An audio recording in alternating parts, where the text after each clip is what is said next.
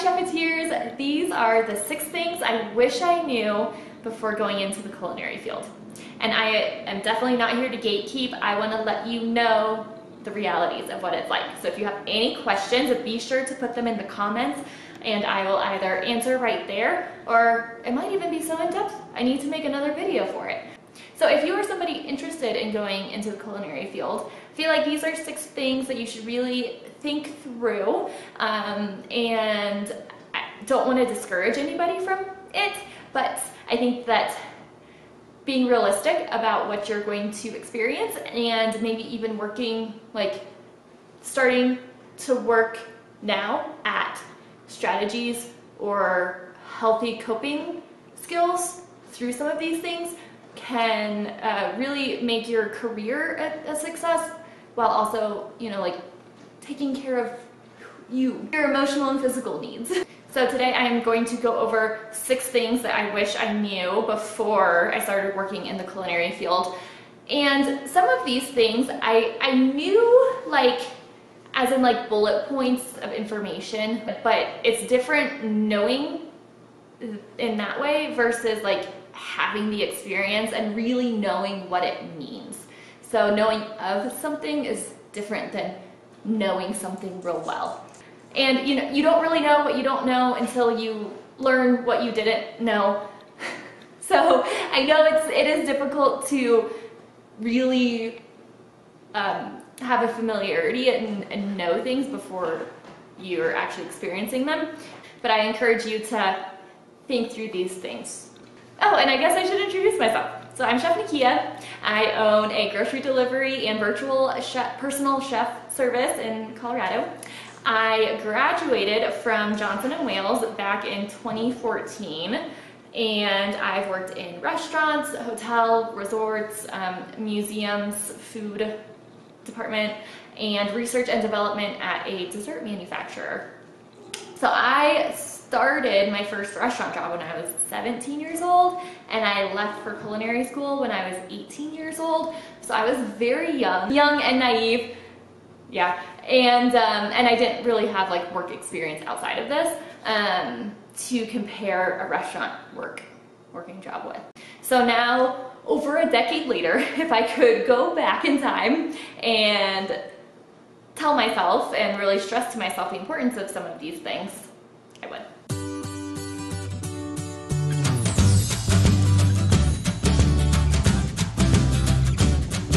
First thing I wish I knew is just how uncomfortable kitchens are.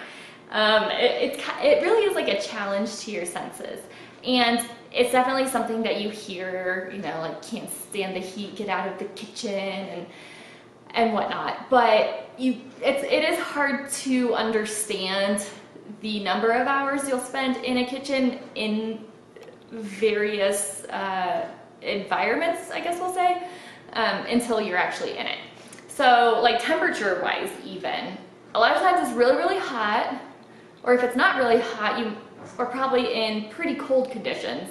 Um, there's rarely like a comfortable in between. So it might be cold when you get in at like 4 a.m. in the morning and you haven't turned the ovens on yet. Or if you're working with chocolate, you want a cooler room because that's best for chocolate. Or even if you're doing like garde manger, so like a lot of prep for salads and, and stuff like that. Um, you're gonna be in a cold room. And then if you're cooking on a line, it's gonna be real hot. If there's, you know, a, a flat top, fryers, if you're like a saucier working over a stove, it gets hot. so there's very rarely a nice even medium. And then as far as like sound, like it, it is pretty loud. You have a lot of people talking and you have all of the equipment running it's just a loud environment. Usually there's at least one person who's in charge of the speaker and in charge of the music. And the music's probably gonna be pretty loud and you might hate the type of music that they love, but guess what? They're in charge of the speaker, so you just kind of have to deal with it. so on top of that, like potentially harsh music or sounds, um, there's pretty harsh fluorescent lighting too. And all in all, it's not that big of a deal. But if you think about like a nice calming like spa type working environment, this is like the absolute extreme opposite. and of course, there are going to be strong aromas. So if there are certain ingredients or certain smells that almost make your stomach turn, that almost make your stomach turn, um, you're gonna have to find a way through that uh, because you gotta cook what you gotta cook, and that's gonna include some aromas that you may or may not like. And then it is a pretty crowded space most of the time. So you gotta get used to, you know, working with your elbows in as much as you can, taking up as little space, being as efficient with your space as you can, and be okay getting real close to your coworkers. Which leads perfectly into you will see a every single facet of your coworkers' personalities and emotions, good and bad you're all working in there together, it, it can feel like a pressure cooker. Um, there is the stress of tight timelines and it's a team effort. And if one person on that team isn't pulling their weight, then that's gonna cause frustration. And even one person's frustration is going to be felt by every single other person in that kitchen. Um, if you are thinking about, you know, the, the energy and the vibes that you work well in, your the energy in that kitchen is dependent on every single person there, not just you. So you could come into work in a great mood and you hope everyone else is in a great mood today too. Because then it's super fun. It's one of the most fun working atmospheres. Um, but one person's sour attitude can really bring it down and you can't really, you know, physically go to another room or anything to try to get away. Like you're there. Another aspect of being there with your coworkers is understanding that it's getting better, but unfortunately there is still a lot of sexism and misogyny in the food service industry that gets a pass. Uh, you may or may not work for people who see inappropriate jokes or inappropriate comments as being business problems, it might just be like, well, you have to deal with that on your own. And I hope that wherever you go to work is not like that and everybody is super respectful and kind, but have that on your radar that it is possible. And that's all, I'm gonna say about that for now because this could turn into like a 45 minute video just about that and I'm gonna go on to number three. Number three is pretty silly, especially coming from me. Um, it's just, you know, super problematic that there's a lack of fashion overall. and this is definitely not something that I think is um, any reason to not go into the industry, but it's just something I didn't really think about um, until I was in it. So for health reasons, like um, food safety health reasons, you can't have any fingernail polish on because bacteria can hide in between your fingernail and the polish. Also, that polish could chip off into somebody's food, and that is disgusting. So you always want short nails so that you can actually work with the food well. No painted fingernails. Minimal makeup, I mean, part of that is just like you're probably gonna sweat it off anyway, but there's also bacteria in makeup, and like especially mascara. Um, I, for, I forget the exact number, but one time, it was when I was in school, someone shared with me the like average amount of bacteria on an eyelash with, ma with mascara. So if your eyelash like falls into the food, that is super duper gross. Um, so yeah, definitely want like minimal makeup. Some places this is more of a rule where it's like uh, none at all. Other places it's more of just like you make that decision for yourself. Um, but work, you know, a 12 hour shift in full face makeup and then tell me if you ever want to do that again. Another, uh, you know, grooming and like food safety thing is definitely hair. So you cannot have your hair just out and about. It's got to be contained in some way, whether that is a hat or a hairnet in tight braids. Uh, some people, you know, of course, will get pixie cuts. Others, if they do have choose to keep longer hair, it's braided in a ponytail and a bun every day. Um, and that does also like create more stress on your head and create more tension headaches. That's kind of a side note. And then of course, no jewelry because kind of like with makeup potentially falling into food, like if you have a necklace on, it could potentially fall into food and that would be dangerous. Um, places will allow you to have like a plain wedding band, but even then that can get in the way sometimes and you always want to make sure you're washing your hands really, really well around that ring, even if it is you know, a plain band where there aren't, aren't nooks and crannies where bacteria can hide, um, it's still a risk there. Minimal jewelry, meaning like basically just a wedding band, like no earrings, no necklaces, no bracelets would get in the way. Mm -mm. And then your uniform, what you're wearing, it's basically the same thing every day. It's whatever t-shirt you don't mind getting super sweaty, chef coat and chef pants, or I will say for a lot of my jobs, I've worn like black dress pants um, because that was easier than chef pants for me. But the point is, oh, and, and comfortable shoes that will save your feet. The point is, some jobs in the morning, you might get dressed up in how you want to present yourself to your coworkers and you might use your wardrobe as, as a way to do that. And in the kitchen, pretty much everyone is wearing the same thing. So as you are, you know, prioritizing work and everything, you are not going to be keeping up with fashion trends, with, you know, what are the new makeup products, unless you have like a very active social life outside of work and you don't work too many hours to where you can't have a social life. you just, it, you won't have like that daily um, purpose of needing to look at it, what's going on in the fashion industry. So like I said, it's a little bit silly of like, oh no, you might not be the most on trend. Uh, but for some people that is important and even if it's not, um, just don't expect yourself to stay in the know. One thing that I did not know and like I really did not expect is everybody, it feels like everybody will ask you for nutrition advice. As soon as they hear that you work with food, they'll just come at you with all kinds of questions. And you know, people will start to ask you like, what should I eat? And in my case, I'm always like, well, what do you like to eat? You know? um, in my specific degree that I got, it wasn't a nutrition degree, so we did have one nutrition class, so I have some understanding around nutrition. But I'm not a dietitian, I'm not a nutritionist. and But it, it is kind of funny to hear, um, to see what people's expectations still are from you once they hear that you work with food. Um, another common thing that happens is people will come up and say like, I just heard, and then like insert whatever crazy health advice or nutrition thing like eggs will kill you or blueberries are the best thing ever made, whatever. And then they'll be like, is it true? Is it true? As if you're like the number one authority. and so um, be prepared for that.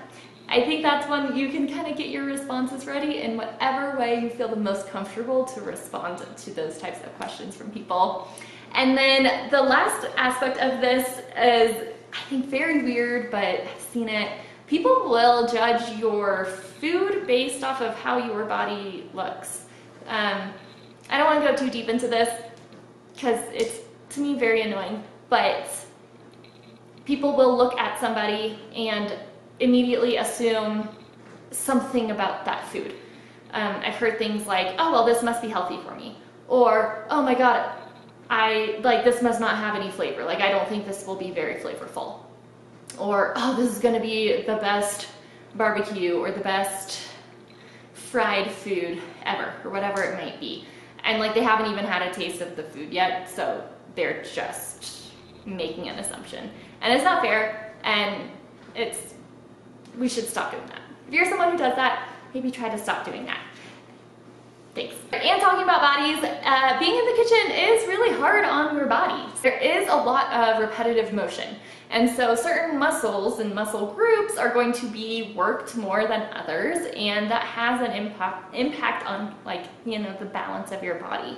It's also usually very long hours. You're on your feet the whole time, walking around, or sometimes even standing in one place um, you know, picking up heavy ingredients, moving large Cambros of, of stuff around. So you get a workout while you're at work, but you might not necessarily be paying attention to your form You're paying attention a lot more to the food. This can cause extra stress on, of course, your feet from being on them all day, your knees, ankles, hips, your back. So always try to use the best form as possible, of course, whenever you're lifting heavy things. Um, but and if you're doing a lot of repetitive motion, see if there's a different or more efficient way to do it potentially. And if there's not, be sure to take time every once in a while and kind of like stretch out some of those muscles. I think one of the best things that you can do, and I, I must admit, I don't, I've never been as good at this as I would like to, but if you're not in the culinary field yet, start now anyway. Get a good full body daily stretching routine down and make it a habit. And uh, do that every day, every single day, even if you're exhausted, still do it because your body takes on a lot throughout the day, especially working in a kitchen and being able to dedicate a little bit, okay, being able to dedicate a part of your day to stretching is going to be very helpful in your body holding up long enough to work in the culinary field for as long as you want to. Number six is you have to be in a really specific role in order to be creative with food in the way most people think of wanting to be creative with food. Meaning that anybody might be able to be creative in finding a more efficient way to diced vegetables and whatnot. But if you want to be writing new menu items, so if you want to be the one who is writing new menu items, creating new menu items, if you want to be pairing different flavors together for a new dish or experimenting with textures and different, the cat wants to jump up.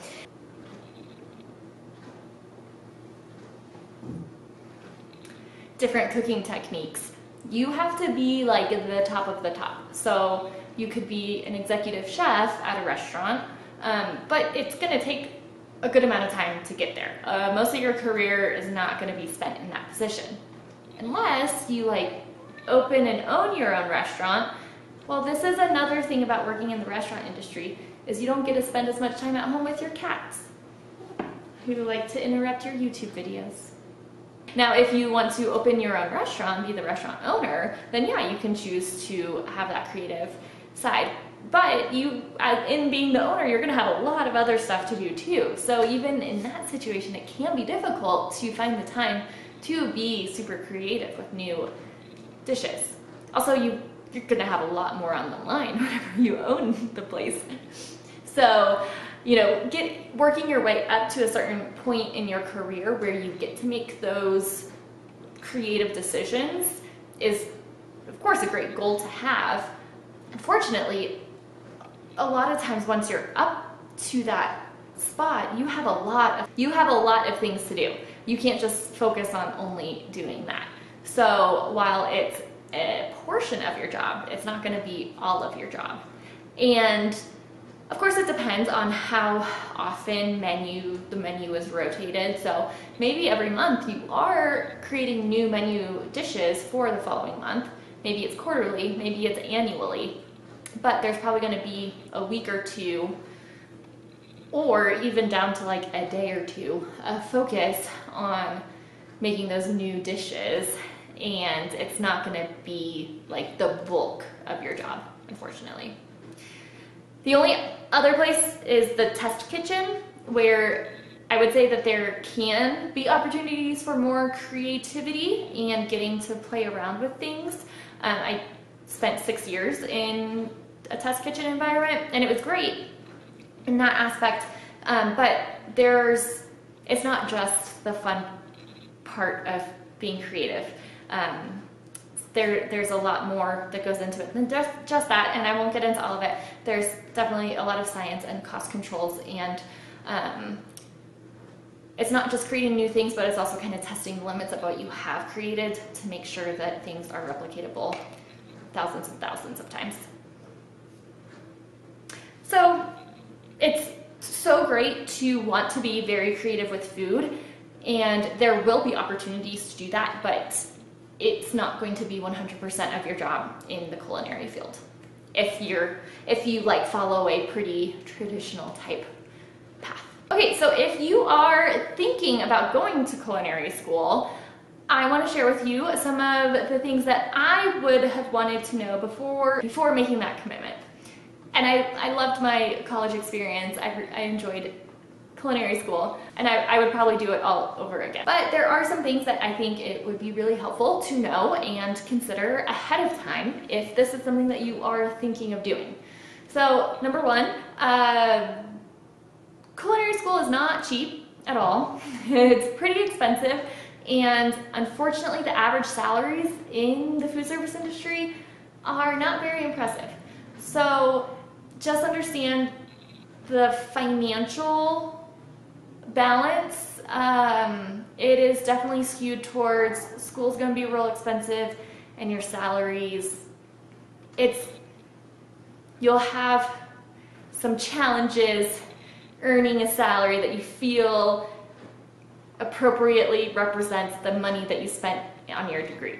School is going to give you an exposure to several different cooking styles and ingredients and like processes cost control, things like that. But you won't really learn it until you are in the industry working in a kitchen. That's where you're gonna build the comfort and the efficiency. So you'll you'll get an idea of stuff, but you really um, there's just a lot of repetition in order to get you to feel like an expert in, in areas. And the time it takes to get that comfort can only come from working because there's just not enough time in the classroom. And then if you are going to school for culinary, I would recommend pairing some sort of like business or hospitality degree along with that. Um, it will make you more marketable and the classes that you'll be taking, you'll get a more well-rounded view of the industry because the food part is very important, um, but as you move along, your the longevity of your career, you might want to do things that are not solely food focused. Remember how I talked about how it's hard on your body? You may, might get to an age where you're, you say like, okay, I can't spend 12 hours in the kitchen six days a week anymore. And then also know that there is a difference between a bachelor's degree or a program where you get a degree versus a certification program. And I think that they both have their merits, and I think whichever one you choose to do, um, just make sure that it's the right fit for you. But a certificate program is going to take significantly less time, should be, of course, less expensive. However, it could potentially be a little bit more difficult as you go further in your career, potentially. Whereas, of course, like I had said, you know, pairing your culinary degree with a business degree, a lot more comparable to like your average four-year university type experience. So in my opinion, overall, uh, getting into the industry, working in the industry is more important than going to culinary school. You will learn more in, in a kitchen and in building strong relationships with the chef that you're working under. Um, also, when you do choose to move to different jobs, um, trying to expand into different types of cooking styles so you're not so that so that you have an opportunity to learn from a different chef and about a different style of food is really helpful and important. I think that if you want to go to culinary school, that is awesome, but I recommend that you work in the industry for some time before. That way like these six things I'm saying I wish I knew, you really get a fam familiarity and you really understand those six things along with everything else that you're going to experience before you decide to make the investment in a degree. Um, your experiences are going to be different than my experiences, not only because of time and because we come from different backgrounds and, and all of that, um, but just because no two people's experiences are ever the same. So I absolutely urge you to get into the industry and get an understanding of it and if you think it's right for you before spending the money on school. And I don't want this video to make it seem like I hated any of my working experience in professional kitchens or anything like that. There is such a fun energy on good days in a kitchen, and I wouldn't have figured out what I want to do unless I got in there and saw the different things that are possible to do. So I would have never thought of starting a grocery delivery and virtual personal chef service if I didn't already work in the industry. I wouldn't have realized the need that people at home have for wanting to learn more about how to cook and how to cook in a very personalized way. I also wouldn't have realized how I how much I enjoy helping people bring more confidence and convenience into their kitchens at home.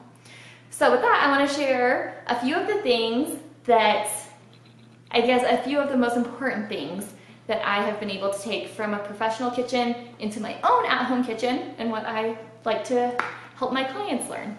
So these are my top five professional chef skills that I use all the time at home. These aren't really in any particular order. So knife skills. Knife skills are very important in that you want to feel comfortable and confident holding a sharp object like this, like a knife. Um, so of course there are the very technical, you know, a large dice is three quarter inch by three quarter inch versus a julienne versus all of that. And and it's good to be comfortable with those terms so that when you read it, you know, you, you understand what the recipe writer was going for. But more than that, it's important to understand how knife cuts are going to cook down. That way you can personalize your meals to ensure that the texture of whatever you're going for is going to be in the finished dish.